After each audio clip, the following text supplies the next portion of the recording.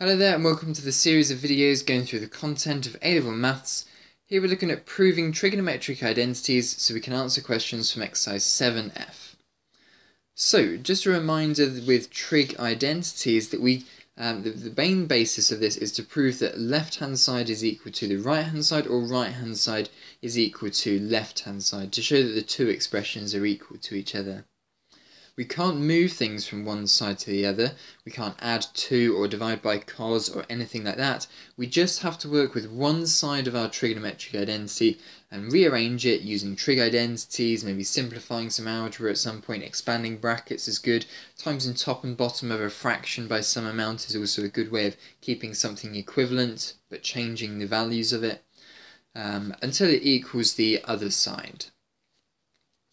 And generally, it's a good advice to follow um, that you pick the more difficult side and rearrange it and simplify it into something that is a little bit more easy or a little bit more compact. So this is where we're going to start in this trig identity here. We're going to start with the left-hand side, and we've got 2 sine theta over 2 cos theta over 2 times cos theta. Quite a lot happening here.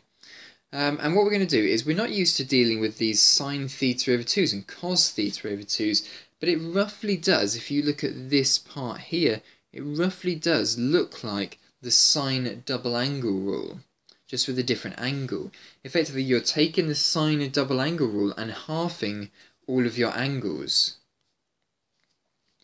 So in this case here, we're going to get sine theta is equivalent to 2 sine theta over 2 cos theta over 2.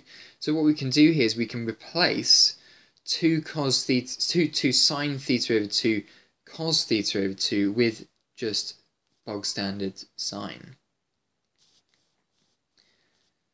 Okay, so we're using a half angle rule here. This may be something that you may want to take a note of don't you don't necessarily have to remember it, but just remember that with the sine double angle rule, you can half all of your angles until you get a half angle rule.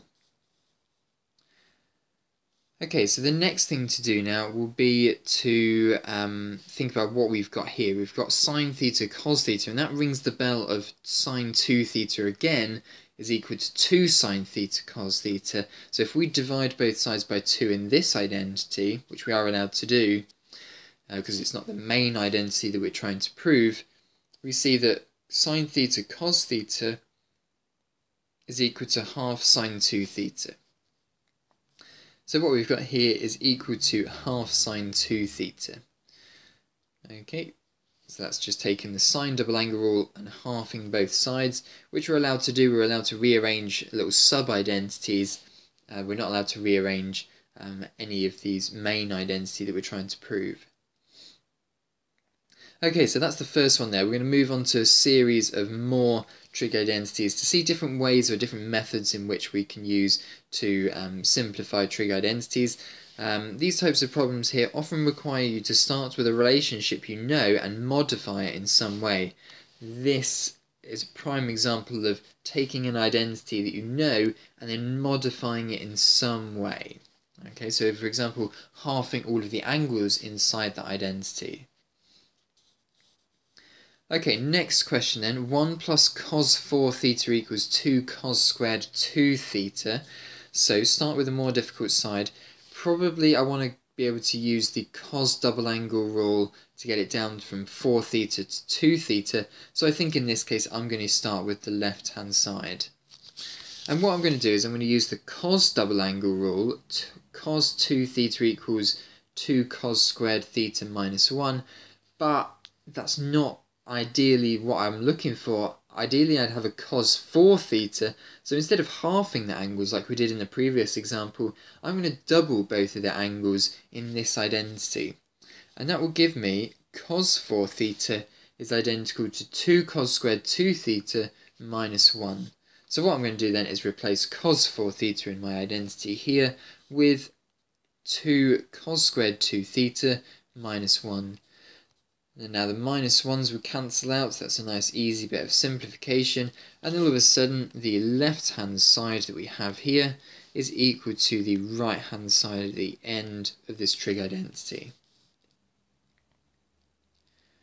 Okay, so that's again another example in which we've taken a, an identity that we know and just manipulated it in some way so that it fits better into our trig identity that we're trying to prove. Okay, a fraction one now. Now, there are two different ways of doing this one. There's the method that we're going to go through here, and then I actually have a preferred method um, otherwise afterwards. So we're going to look to prove the identity that tan 2 theta is equal to 2 over cot theta minus tan theta. A good starting point would be to know the identity for tan 2 theta. I definitely agree with that. Just to remind yourself of the identity for tan 2 theta, it goes 2 tan theta over 1 minus tan squared theta. And you can see already it's virtually the same, or very nearly the same as the uh, identity we're trying to prove.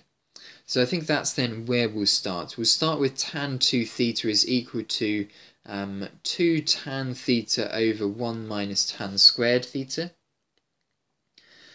now with the fraction type of trigonometric identities, um, remember that you can times the top and bottom by a, an, an, amount, and you can divide the top and bottom by an amount as well. And as long as you're timesing the top by the same thing as you're timesing the bottom by, or dividing the top by the same thing you're dividing the bottom by, you're going to get um, something that is equivalent.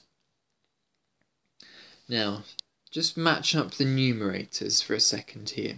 You've got 2 here, and you've got 2 tan here. So ideally we want to get rid of the tan that's on top of this numerator. So what we're going to do in this case here is we're going to divide all terms in the fraction by tan theta, effectively doing a divide by tan theta over tan theta. That's going to keep the expression equivalent, but it's going to change the expression a little bit. So we're dividing by tan on the top, and we're dividing by tan on the bottom. Now what's going to happen here, let's just look at the numerator for a second. 2 tan theta divided by tan theta. Great, tan thetas will cancel out there just to give us a 2. And then on the bottom, everything is going to have to divide by tan as well. So it's going to be 1 divided by tan theta minus tan squared divided by tan theta. So let's go ahead and simplify all three of the elements that we have here. 2 tan theta divided by tan theta is just 2. 1 divided by tan theta is cot theta. And tan squared theta divided by tan theta is tan theta. And this proves our identity. This proves that the left hand side is equal to the right hand side. Now what you could do here is you could start with 2 over cot theta minus tan theta and have in your mind that really we would like a tan theta on the top. And the only thing we're going to do here different to the way we did this one here is just do it in reverse. We're going to multiply tan theta over tan theta. And in this case we're going to get 2 tan theta on the top and we're going to multiply tan thetas on the bottom. Cot times tan is just 1. Tan times tan is tan squared which is equal to tan 2 theta. So you've got two different ways of doing that. You can generally go from right to left and left to right, whichever way you choose. But yeah, it's probably easier going with the more complicated thing first. In my opinion, that was the fraction, and going to the simplified identity next. Okay, let's move on to the next one then. And in this case here, it's the uh, it's going to be an angle addition rule or an angle subtraction rule, very similar to how we did these in the previous video.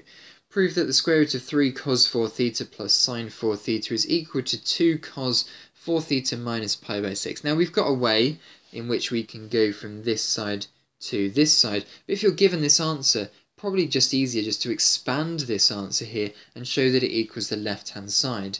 So start by doing right hand side and writing out the angle addition rule um, uh, formula. So for cos, and it's a negative, it's going to be cos 4 theta cos pi by 6 plus sine 4 theta sine pi by 6. Simplify the cos and the sine pi by 6, that's 30 degrees.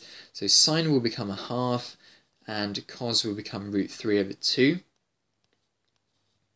And then cancel out the 2's as fractions. We've nicely got 2 at the front of both of our expressions here. So cancel out them there, and this equals the right-hand side. So once again, we've shown that right-hand side is equal to left-hand side. My apologies, yeah, left-hand side. Okay, that's all we're going to do in this video here. It's your turn to have a go at simplifying these uh, questions here then. What I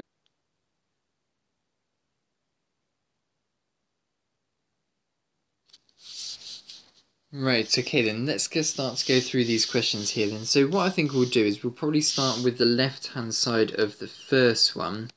Um, based on the fact we've got a cos 2 theta and a sine 2 theta, and this is going to give us a tan. So I'm thinking immediately expand the cos 2 theta and expand the sine 2 theta.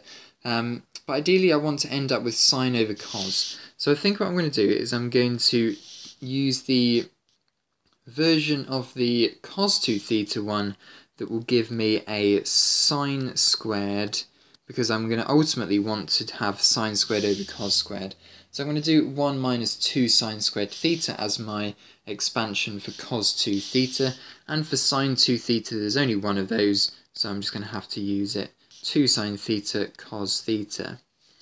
Now, being very careful of expanding my brackets correctly here, if I'm subtracting a negative, that makes it positive, and 1 minus 1 cancels out, so this is going to simplify to 2 sine squared theta over 2 sine theta cos theta, and cancel out 2's from top and bottom, cancel out sines from top and bottom, you end up with sine theta over cos theta, which is equal to tan theta, which is equal to the right hand side. Perfect, I've proved that, so little square just to finish things off. Nice. Okay, now second one here, a little bit more tricky to get started on. What I would suggest we get started on is thinking about what relationship we have in terms of sine and cos. So, uh, sorry, uh, tan and sec I mean. So sine squared plus cos squared equals 1. And then to create the sec and tan identity, I need to divide by cos squared. So cos squared theta, cos squared theta, cos squared theta. So remember, I can rearrange little sub identities down the side here. I can't rearrange uh, and move over to the other side uh, any of the main identity. So this is going to be tan squared theta plus 1 equals sec squared theta. Okay. Um, so in this case here, uh, what we can probably do then is start off, we want it in terms of sec, but this here is really going to be 1 over cos 2 theta. So I'm going to write that out there just to give me a little bit of a chance. I think what I'm going to do here is, uh, oh I know, I'm going to times the top and bottom of this fraction by cos. There we are, yeah, that's the breakthrough for this question here then. So take the left hand side. I don't think we're going to actually need this actually then, but we'll leave it there just in case. Uh, left hand side is equal to sec squared theta over 1 minus tan squared theta. And I'm going to times top and bottom by cos squared.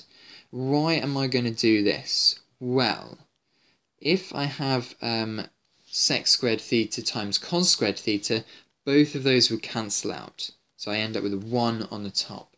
I'm looking for 1 over cos 2 theta here, um, so I'm looking for something to appear on the bottom specifically. Now I need to times by cos squared on the bottom. This is going to give me cos squared theta. And then it's going to give me minus, um, and in this case here it's going to be tan squared theta times cos squared theta, but if we remember sine squared is going to be cos blah blah blah. Tan squared is going to be sine squared theta over cos squared theta, and if I times by cos squared theta, then I'm going to get these two cancelling out, and I'll just be left with sine squared theta. And all of a sudden now, I've got a sine, I've got a cos 2 theta double angle formula rule appear on the denominator of my fraction here. The next thing that I need to do is just now turn this into sec 2 theta because that is ultimately what the right hand side is. I've just written this out there just to help me along the way a little bit. And this equals to the right hand side. Excellent, good stuff. Now that was a tricky one. I was expecting to go along this sort of route here where I've got tan squared plus 1 equals sec squared because I've got a sec squared and a tan squared in this question here. Um, but instead, the trick here was to times the top and the bottom of a fraction by cos squared and that ended up at 1 over cos 2 theta as I say, you do need lots of practice of this. Um, you may go down the wrong route to start with, like I did here, and then eventually you may spot it, especially with fractions, probably going to be a case of times and top and bottom by some value. Alright then, so get lots of practice on exercise 7f. Make sure you have a go at all of the standard trig identity questions and the problem solving, the exam style questions as well. And uh, thanks for watching. Persevere through the difficult ones and ask your teacher for help if you need any. Yeah, thanks for watching.